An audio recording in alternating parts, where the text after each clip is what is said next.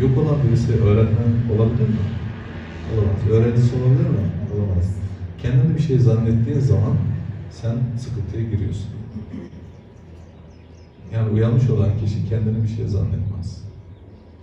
Ancak madem ki çokluğa girdin, gene geldin bu esveri safiliğine, aşağıdan aşağısına bu dünyaya, o zaman birileri seni bir şey zannediyorsa onların zannına göre hareket etsen iyi olur. 我们学到一些